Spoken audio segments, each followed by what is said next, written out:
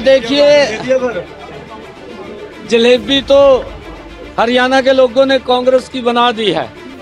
और, हमने पहले भी इस बात को लेकर के कहा है कि हमारे कल्चर है, हमारा जो अलग अलग खान पान का है। अब राहुल गांधी को तो उसके बारे में जानकारी नहीं है। हरियाणा में कहाँ की जलेबी मशहूर है, कहाँ की बड़ी जलेबी मशहूर है। कहाँ की छोटी जलेबी मशहूर है? कहाँ की फिरनी मशहूर है? कहाँ का गेवर मशहूर है? कहाँ की बर्फ़ी मशहूर है? उसको इसकी जानकारी तो है नहीं है क्योंकि वो बिना जानकारी के ही इधर उधर वो बात करते रहते हैं।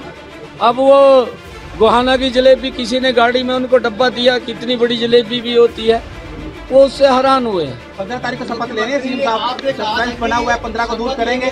देखिए वो डेट आपको बताएँगे।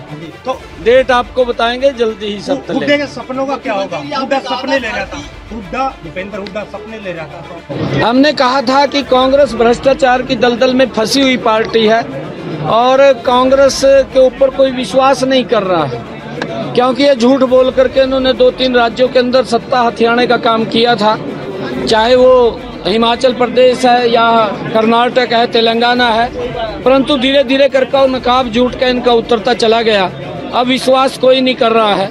अब जहाँ चुनाव होते हैं, आदरणीय मोदी जी के नेतृत्व में भारतीय जनता पार्टी की सरकार बन रही है, बड़े मैंडेट के साथ करेंगे जल्दी हम युवाओं के लिए वो लिस्ट निकलने वाली है।